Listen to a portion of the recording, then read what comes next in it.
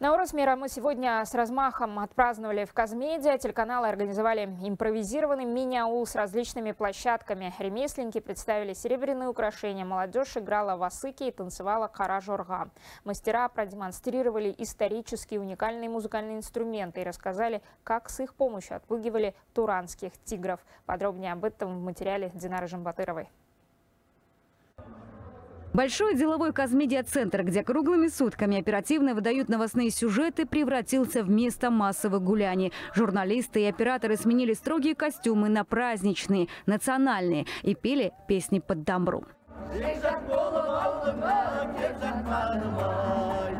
Импровизированный аул под яркими софитами вместо солнца собрал самые разные мини-площадки. Здесь можно было увидеть, как степные опашки ловко справлялись с веретеном, молодежь играла в осыки и патриотично исполняла харажурга.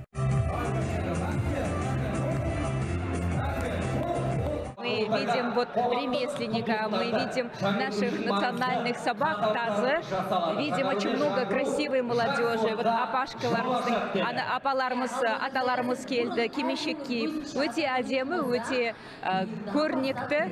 Я надеюсь, что каждый год он будет таким же ярким, запоминающимся и будет приносить очень много положительных эмоций. Мы должны знать свои традиции, мы должны их передавать из поколения в поколение поколения. Я уверена, что этот самый древний восточный праздник, он с каждым годом будет становиться только значимее. Всех поздравляю с праздником, желаю всем э, радости, здоровья, счастья и процветания нашей страны. Яркие камзолы, женственные тюбетейки и лаконичные чапаны. Похоже, благодаря Наурызу национальная одежда войдет в повседневную жизнь казахстанцев, как и серебряные украшения. Они стали визитной карточкой казахстанской женщины.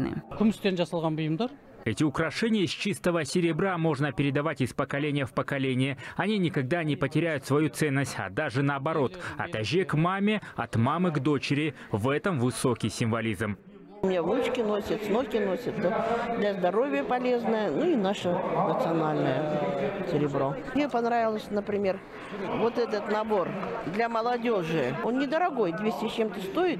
Сейчас бриллиант дороже стоит. А эти инструменты бесценные, экземпляры штучные, некоторые с многовековой историей. Доказано, что от тюрков пошло распространение и язычкового инструмента – шанкобас. Похожие есть в Якутии и Индии.